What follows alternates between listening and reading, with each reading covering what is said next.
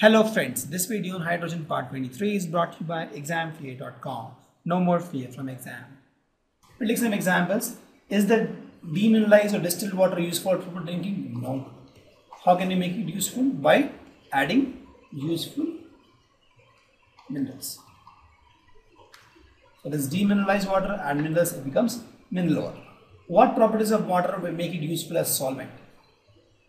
And what type of compound can it dissolve or hydrolyze? See, water we know that has high dielectric constant. Hope you remember this 79.3. Also, it has high dipole moment. 1.84 dipole. So these two properties, right, makes water a good solid. Next question is what type of compound it can solve? So ionic compound, almost all, because it has this uh, dielectric constant dipole moment, and many covalent compound also it can. Covalent many is almost all. Correct. Ionic all because it also has a hydrogen bond. Like that also. Polar in nature. So with that, it dissolves almost all the ionic and many covalent compound. What type of compound it can hydrolyze?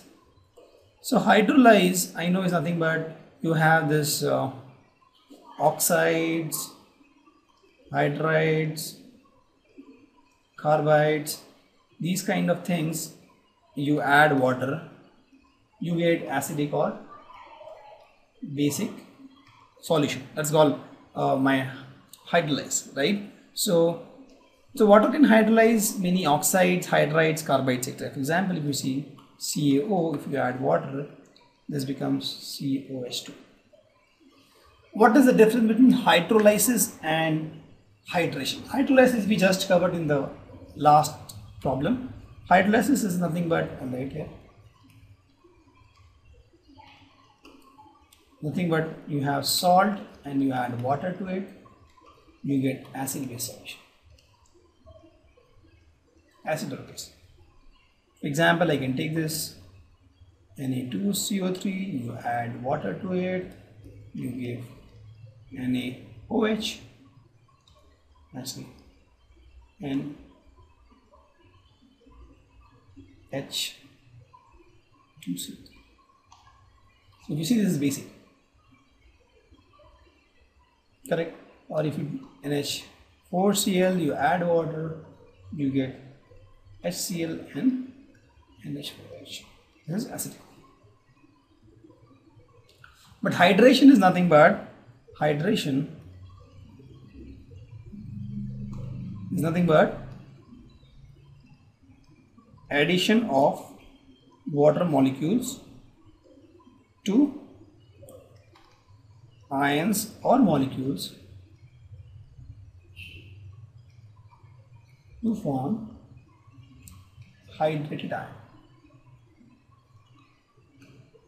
For example, NaCl you add water, what it becomes? This becomes Na plus and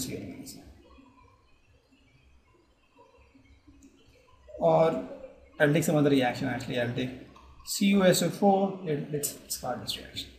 CuSO4 plus 5H2O if you add this becomes CuSO4.5H2 this is blue in color. This is white in color. Right? So this added. This is nothing but hydration. Hydrolysis you add some salt to water you get acid or base solution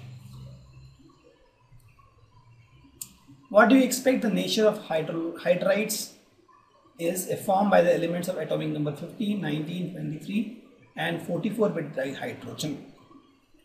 So the first is atomic number 15. So Z is equal to 15. What is there? It is phosphorus. Phosphorus forms hydride PH3 and this is nothing but covalent non-metal right the next is 19 z is equal to 19 we have potassium. Potassium form K plus H minus that is ionic hydride. The next is 23 this is a transition metal so it will form interstitial hydride 44 now this is a cache here. 44 is a transition metal element right? But it is part of group 8 and I told that the group 8 will not form any hydride. So there is no hydride so what you do? You have to find the atomic number. With that you have to find the group. And then based on the group you can tell whether it will be covalent hydride ionic hydride interstitial hydride or no hydrides thank you visit examfear.com to watch free educational videos try free online tests get the best quality study materials study from the best tutors and mentors, and much more. Thanks once again.